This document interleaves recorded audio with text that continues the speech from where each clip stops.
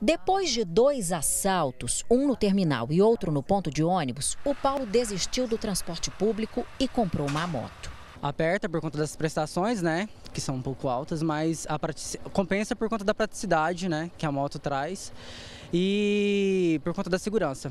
Uma pesquisa da Associação Nacional de Transportes Urbanos mostra que de 2008 a 2016, mais de 26% dos passageiros abandonaram o sistema em Goiânia. Além da insegurança, a espera é longa demais, perde-se muito tempo. Esperou muito tempo?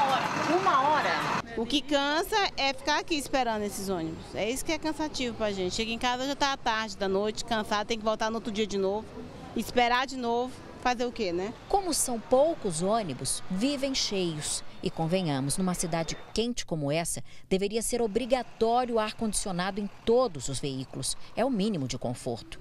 Moço, tá muito quente aí?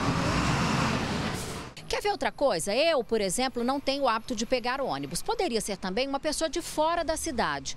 Como é que eu vou saber o itinerário do ônibus que passa por aqui? Deveria ter uma placa informativa constando aqui a rota do ônibus, o preço da passagem, onde comprar o bilhete, que é outra dúvida grande, e principalmente os horários que os ônibus passam.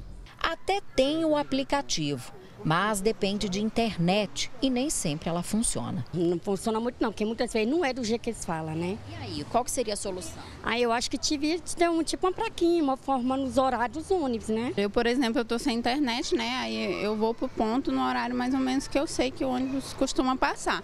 Tem que adivinhar. Isso. Aí, no caso, se ele atrasar, eu fico lá esperando até a hora que ele passa, correndo risco, né? Que eu saio de casa muito cedo.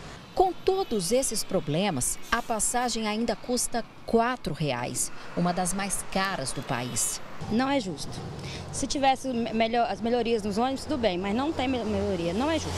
E esse professor universitário especialista em transportes diz que a tendência é do preço subir cada vez mais. Porque quanto pior o transporte, menor a quantidade de usuários, mais cara fica a passagem é uma falta de organização, uma falta de estrutura tão grande que o passageiro é que sofre. Ele diz que o sistema, como está hoje, está fadado ao fracasso. Vai perder cada vez mais clientes. A solução é melhorar a gestão. Exemplo está nesse vídeo. Em um minuto, passam seis ônibus na mesma linha, a 03. Precisa disso tudo?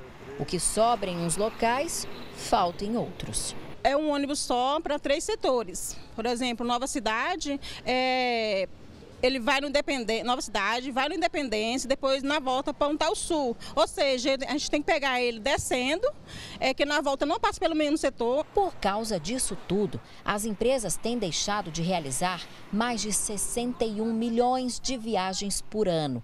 Se houvesse uma gestão inteligente, os passageiros ficariam satisfeitos e seria um negócio muito mais lucrativo. É um problema de gestão, acima de tudo de gestão. E as empresas sempre põem aquela culpa no trânsito, né?